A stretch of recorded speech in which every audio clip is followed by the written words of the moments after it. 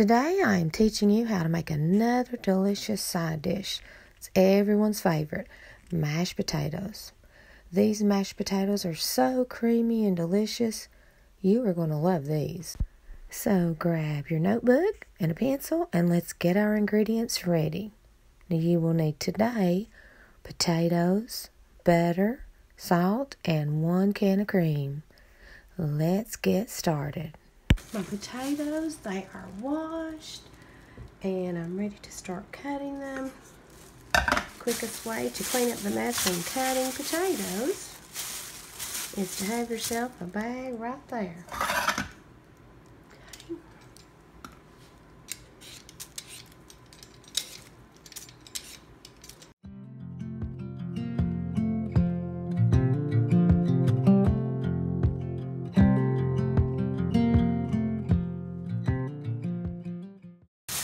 Easy.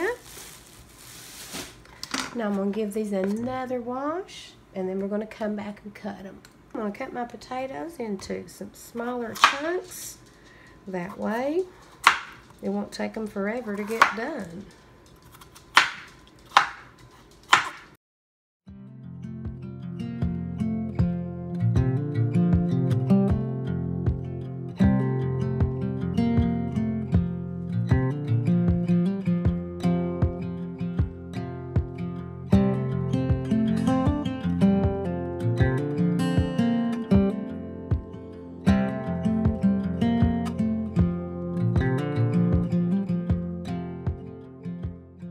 I'm going to take my pot and I'm going to fill up the water to about two inches above my potatoes. And I'm going to put them on the stove on medium. All right, let's check in on our potatoes. I think they are about done. You want to make sure they're very, very easy to, let's see, these are breaking really well. So these are ready to blend up. Now we're going to drain them and then we're going to start mashing.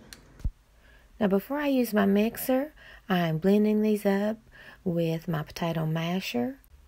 Once I get the lumps out as much as possible, then I'm going to use my hand mixer. I'm adding in a cut up stick of butter to my potatoes. I'm going to add a half a teaspoon of salt. Now you can taste these and you can add more if you like. I'm going to use my hand mixer and I'm going to blend all this up together. We want to be sure that we get all the lumps out, so we're just going to keep mixing it around till we get that all combined. Now, once it's pretty smooth, we're going to begin to add in our cream. We're going to add a little at a time. We'll start with about a quarter of the can, and then we're going to blend that around. We're going to add a little bit more if we need it to fix our consistency. Scrape the sides of the bowl really well and blend some more. I'm going to add in just a little bit more.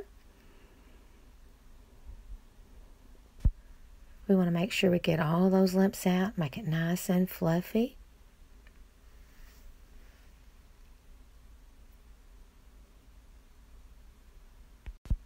Looks like we're finished. We're going to come back and we're going to serve these up. Here is our finished yummy side dish.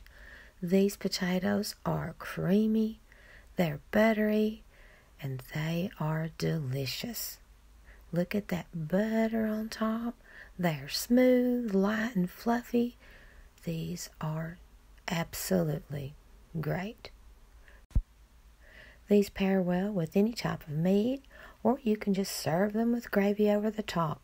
For a meal idea, go check out my diner style roast beef and gravy sandwich.